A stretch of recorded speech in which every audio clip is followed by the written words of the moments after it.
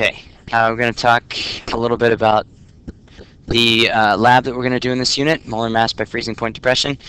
Um, and this should basically talk you through all the things that you need to know for this lab. Um, the the lab itself, um, it's not complicated, but it's time consuming. So we're probably going to divide and conquer here. Um, so you're going to have to get some of your data from other groups, and hopefully that'll work out. Um, but there's there's nothing here where I think that um, it's going to mess us up if we share. Um, there's some background equations that you need here, but basically we've talked about all this stuff before. Freezing point depression is one of the colligative properties, and when you put, whoops, too far. When you put a um, solute into a solvent, when you dissolve one thing in another, it's actually going to lower uh, the freezing point of the original solvent. Okay, and so for example, putting salt in the water makes the water freeze at a lower temperature. And the equation that you really need for that is this one right here, the delta T uh, freezing point equals the K freezing point times M, which is the molality. Okay, um, so what we need to figure out here, uh, there's a couple of things in in the context of a lab. Um, we're not going to know any of this stuff initially, okay? And so we're going to have to actually do um, some experiments to, to figure out, experimentally determine the delta T freezing point and also the constant, freezing point constant. Um, when we have a certain molality of a substance, then we can use that um, once we know that, and they give you an equation here, which honestly, you don't necessarily need this equation. You could figure this out on your own if we remember that molar mass is grams per mole. But this is the equation that they give you to calculate the molar mass of an unknown. So that's kind of the, the way we're going to do this is we're going to figure out the the actual freezing point of the BHT to begin with, and then we're going to figure out the uh, freezing point of the BHT when we mix something into it that we know the mass, the molar mass of. Um, and then we're going to mix in an unknown and see if we can determine the molar mass of that unknown based on um, based on what we've already found for our freezing point constant. Okay.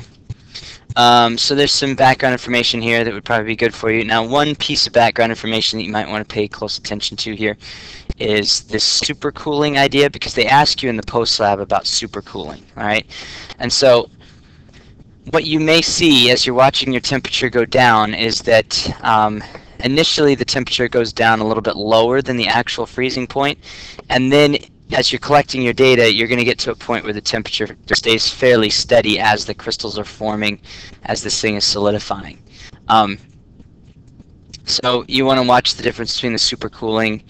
Um, don't don't call the supercooling point the point down here below.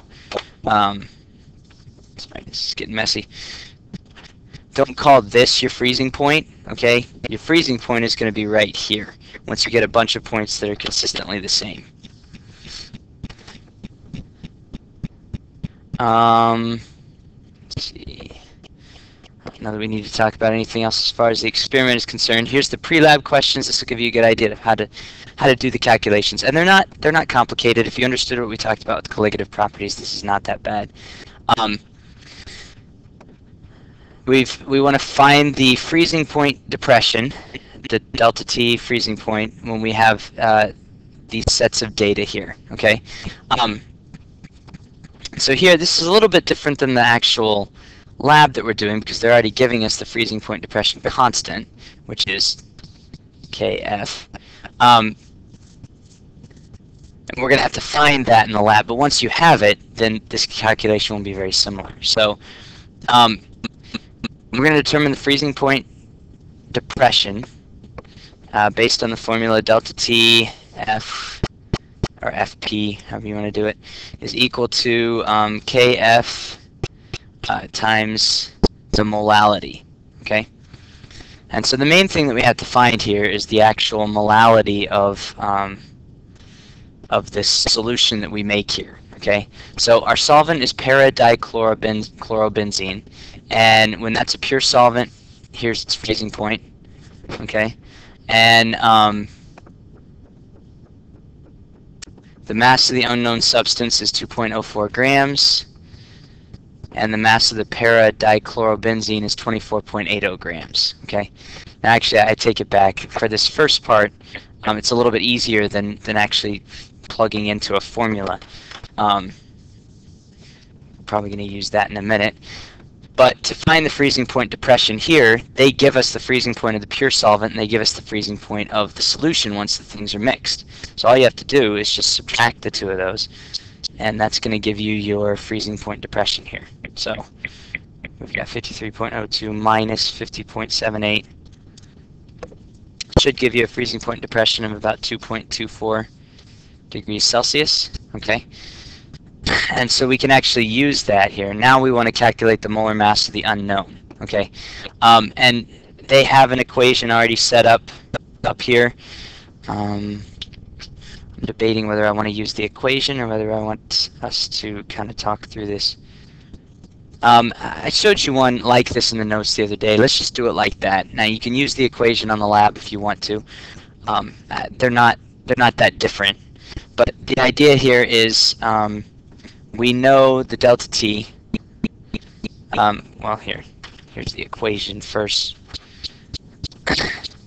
delta t freezing equals um, kf times the molality, which the molality, let's go ahead and write that out, is going to be the moles of the solvent, or moles of the solute, divided by the kilograms of the solvent.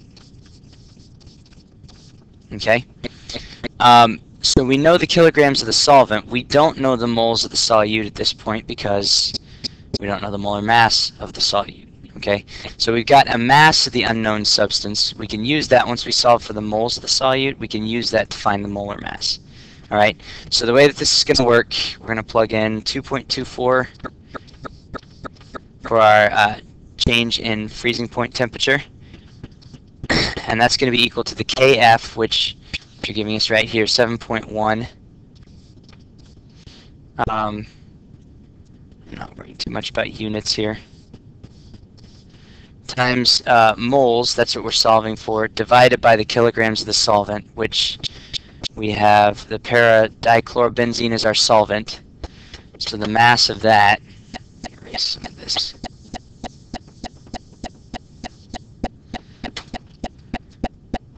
So the mass of our para-dichlorobenzene is 24.80 grams, so that's 0.02480 kilograms. Okay? And once we have that, um, we can just solve for the number of moles here. This moles is kind of like our x on this one. So we, we've essentially got 2.24 is equal to 7.1x over 0.02480. Okay? And once we solve for x, that's going to be our number of moles, and then we can figure out our molar mass. Okay? Now again, I don't you know, you might just want to plug right into the equation, but I think this helps with the understanding a little bit more. Um, So the number of moles here is 0.0078.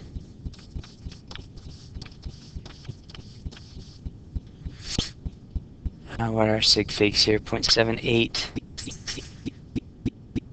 Well, I guess our freezing point depression constant is 7.1, so that's going to limit our sig figs here. That's our number of moles. Oh. Okay, we good? We good? I think we're good. Um, so, molar mass, remember, is grams per mole, okay? So if we want to know the molar mass of the solute, um, the unknown substance that we're dissolving in the para-dichlorobenzene, um, all we have to do here is take the mass of our unknown, which is right here, 2.04 grams. And now we found the moles of our unknown. We have 0.0078 moles. And that's going to give us the molar mass, grams per mole. Okay? So 2.04 divided by the answer here. Um, that's giving me a really... Oh, whoops. 2.04 put in 204.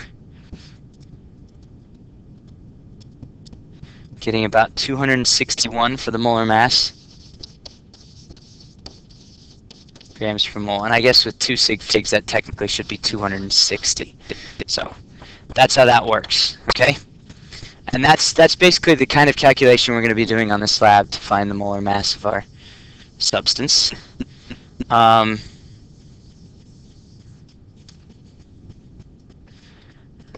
the other post-lab questions have to do with errors that can happen. And, and again, this is a very common thing that you got to think about. How would, how would this affect it? Um, thermometer used actually read 1.4 degrees Celsius too high. Okay. Um, now, on this one, it might actually be useful to go up and look at our uh, the equation that they give you at the beginning here. Molar mass equation, equation 4. Um, let me take a look here. The thermometer used actually read 1.4 degrees Celsius too high. Okay. So, if it reads too high, we're thinking about this, um, that actually would have no effect, right? Because this right here, the change in temperature, um, if you think about it, we're measuring the the original temperature, um, freezing point of the pure solvent, and then the freezing point of the solution. So assuming we use the same thermometer for both measurements, the only thing that, that matters is the change. So as long as it's just, if it's reading consistently too high every time, that's not going to affect our results, okay? Um, another scenario, some of the solvent was spilled before the solute was added, okay? So I'm assuming here that we have measured the solvent, we measured the mass of the solvent, okay? And then we spill some of it before we add the solute, okay? Um, so that's going to affect our molality if you come back up here to the equation, um, that is going to make the kilograms of solvent, uh, our calculated kilograms of solvent are going to be too high because we're going to think this number is higher than it actually is. So if that makes this number too high in our calculation, and this is in the denominator, that's actually going to make our molar mass too low. Okay? Um, so that's going to make our calculated molar mass lower than the actual molar mass is. Hopefully that makes sense. Again, it's just thinking about how the equation works and um, what each of these things would do to the equation. Some of the solute was spilled after it was weighed and before it was added to the solvent. Okay, so if we spill the solute instead of the solvent, notice the grams of the solute on the top of the equation here. Okay, so that has the exact opposite effect. If we have a number up on the top here that's higher than it should be. If we report it to be 5 grams and it's really 4 because we spilled some of it, this number's too high, which would make our molar mass too high because it's on the, the top of the fraction. Okay? And the last scenario they give us here, too far, sorry. Um, some of the solution was spilled after the solute and solvent were mixed, but before the freezing point was determined. Okay, so solute and solvent have been mixed now, so that's not going to affect our molality necessarily.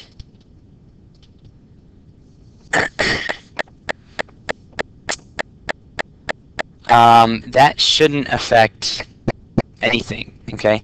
Because we would assume then it would affect the grams of the solute and the kilograms of the solvent the same, okay? Um, as long as these things are equally mixed in a homogeneous mixture, which they're supposed to be when they're mixed together. Um, so, we would assume that that's not going to affect anything. And then, you know, when you do your lab, you're actually mixing these things um, you're going to crush up a little bit of it and just use a little of it to determine your freezing point. So if some of the solution is spilled after they're mixed together, not as big a deal. That's not going to affect the lab that much. Okay? All right, so there's your pre-lab questions. Um, like I said, the actual lab, um, we're probably going to do the micro scale procedure just to conserve um, things. Um, let me get down to this. So you don't have to worry about any of this. I don't think. Let me see. Where's alternative? Okay, here's the alternative microscale procedure. So I think that you have separate data tables for the microscale procedure. So you don't even have to worry about any of those other um, data tables, filling that stuff out. Uh, what you want to get is the melting point of the pure BHT, um, the melting point of the BHT plus the cetyl alcohol, and the melting point of the BHT plus the unknown. Okay, so the idea here of what you're doing is you are going to um, put some BHT into one of those small capillary tubes, and you're going to determine the melting point of the BHT. It's going to be, you know, just a little bit before 80 degrees, I think, um, Celsius is when you. No, I'm sorry. It, it'll be. Um, it'll be before that. I don't remember exactly how much before that. Actually, I can look at my thing here to give you some idea. Um, your melting point, you're probably looking around 70 degrees, somewhere in that range for your pure BHT. Okay? That's your melting point, okay, which also is your freezing point um, if you think about it in the opposite direction, okay? So if you're, you know, obviously if you're going from solid to liquid, that's melting. If you're going from a liquid back to a solid, that's freezing. Um, so we're kind of looking at this, um, it's sort of the opposite side of the coin here. Um, the BHT plus the cetyl alcohol, um, that requires another trial, okay? And again, probably I'm going to have some of you doing pure BHT, some of you doing the BHT plus acetyl alcohol, and some of you doing the BHT plus the unknown because we just don't have time for all of these trials to happen in one day, and and that's about all I can give to this lab. So, um, you're all going to do these calculations here, um, or, or do these these trials, and you're going to figure out the melting points of each of these things. Okay, and then what you should be able to do. Um, after that, you should be able to make some of these calculations here. Okay. Um, so the way you're going to do this is very similar to the way that you did it on the on the actual um, on the actual pre-lab. Okay. So you've got your first solution here, the BHT plus the acetyl alcohol. Um, and we're just finding the masses of each of those things, okay? And then the solution to the BHT plus the unknown, we're finding the masses of each of those. And then what you're going to have to do here, I think maybe it gives a little more detail. Uh, let me see if I can find the post-lab calculations here. Oh, here's, here's what it says for the calculations. Determine the delta T freezing point for the solution of cetyl alcohol in the unknown substance in the BHT, calculate the molality of the cetyl alcohol solution, and use it to determine the value of the freezing point depression constant. All right, so basically what we're going to do first here, once you have the, um, the melting point for the BHT and the cetyl alcohol, okay, then we're going to know, um, you just compare the melting point of the two things here. You compare the melting point of the pure BHT and the BHT plus cetyl alcohol. Take uh, this top one here, uh, whatever it is, you know, degrees Celsius, minus whatever this is, and that's going to be your uh, freezing point depression. Okay, um, because the the BHT plus cetyl alcohol should have a lower melting point or a lower freezing point. Okay, so it depressed your freezing point to mix those two things together. So then, once we know that, we also know the uh, molality of this particular solution because we have the mass of the oops, further. We have the mass of the BHT and the cetyl alcohol here. Okay, so you're going to have to change the um, the cetyl alcohol is going to be the solute in this one, so you're going to have to change that into moles and then the BHT, you're just going to have to change that to kilograms. You do moles over kilograms, that's going to give you your molality, okay? And then all you have to do is um, your delta TF equals your KF times your M, right? We know this because we just calculated it. We know the delta T of uh, freezing. And so then we can actually uh, calculate the KF, the freezing point constant for the BHT. Okay. Once we know that, that is the freezing point constant for BHT, uh, no matter what solute you dissolve in it. Because remember we talked about these colligative properties. They're independent of, um, it doesn't matter what solute you dissolve in it, the only thing that matters is the amount. Okay? So then, um, you should be able to for the uh, BHT plus the unknown. Now you know the uh, pure BHT and you know how much the freezing point got depressed there. Okay, and so then you should be able to, you still have your delta TF, and this time we know our KF because we just calculated it, um, times moles over kilograms. Okay, we also know this, so this becomes a calculation just like the one on the pre-lab, where we're trying to, to solve for the number of moles of the solute. Okay, we also know the mass of the solute. That should be right there. Okay, and so once you calculate all that, you figure out the moles of the solute. Um, then you just take the grams of the solute, or the grams of the unknown, divided by the um, moles of the solute or the unknown, and that'll give you the molar mass of the unknown. Okay? Um, so those are your basic calculations you have to make here. Now let me check. Um, I think they have you do some error analysis on the pre-lab, and I don't think that there's any for the post-lab. I'll Double check and make sure here. I know there's none at the bottom. Look at the post-lab calculations and analysis. Graph the cooling data. Okay, now we don't have to do that for the microscale procedure because you're not you're not doing it that way.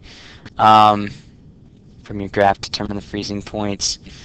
Okay, now, honestly, I guess you don't really have to answer any of these questions because if you're not graphing this thing, you're not going to see the evidence of the supercooling.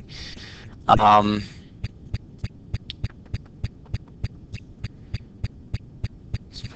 pure solid shows level horizontal curve. Yeah, I mean, all of these things are applicable to the um, the macro scale procedure, but not to the micro scale procedure. So, honestly, your post lab is really easy on this one because we're doing the micro scale procedure. The only thing that you have to do is the calculations we just talked about. You need to fill out this data table uh, for the micro scale procedure, and then do the uh, post lab calculations here, finding the um, freezing point constant, and then finding the molar mass of the unknown and we just talked about how to do those calculations. Just make sure you do a good job of showing how you did those calculations um, in your lab notebook as opposed to just, just writing them in there in the blanks, okay? Alright, so all in all, should be a fairly simple write-up.